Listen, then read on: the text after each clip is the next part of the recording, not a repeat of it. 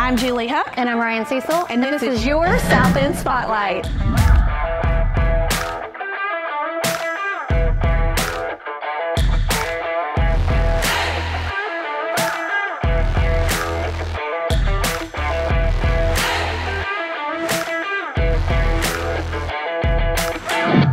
Here at Johnny's at 13003 Dixie Highway, and I am here with Marvin, who is the owner of Johnny's.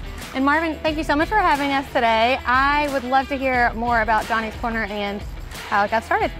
Uh, we started it with the, the, thrift shop, and then I added the bait shop. But the thrift shop came about because I own Right Way Hauling, Junk Removal, and Demolition. I seen a purpose to help keep stuff out of the landfill and get it in here uh, I've watched it for two years. Two years, people just throwing stuff away. I rented the bigger building and decided to bring the stuff in because my dad's got a saying that it basically says, use it up, wear it out, or do without. I like that. So how long has Johnny's been open? Uh, since September 13th of 2022. And we definitely needed a new bait shop because Al's closed. My husband, and we tried to go to Feeder Supply and get crickets, y'all, and the crickets were like that big.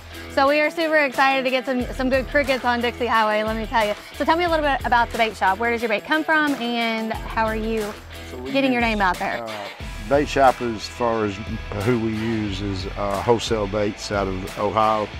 Our guy's name's Butch. He supplied Pepper and he supplied Al's bait shop.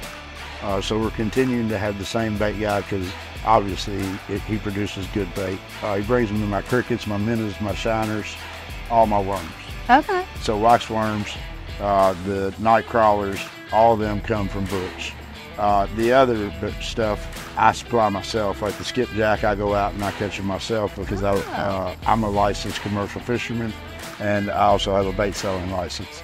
So I can go out and get all of uh, the fresh bait myself and supply it to the Valley Station okay. in uh, South End. Uh, the bait shop came about after the fact. Uh, when we took on this bigger building, we had to find a way to supply the need and uh, be able to cover the cost of the building. I'm a big fisherman. I have been my whole life. Uh, my father raised me on it.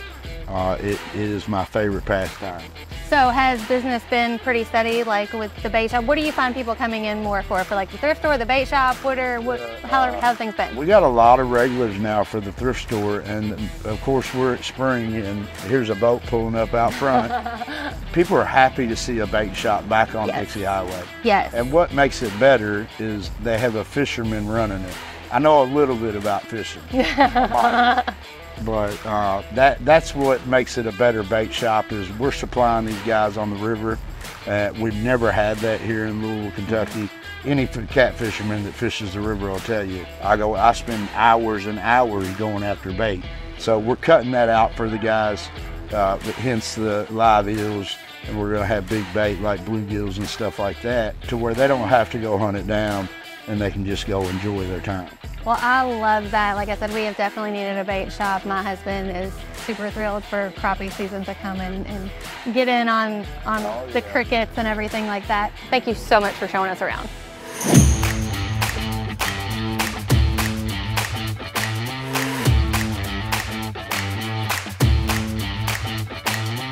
All right, y'all, spring is here, so if you're looking for some bait or some gardening tools, you need to come out to Johnny's Corner Thrift Shop, Bait and Tackle. I'm going home to yard work.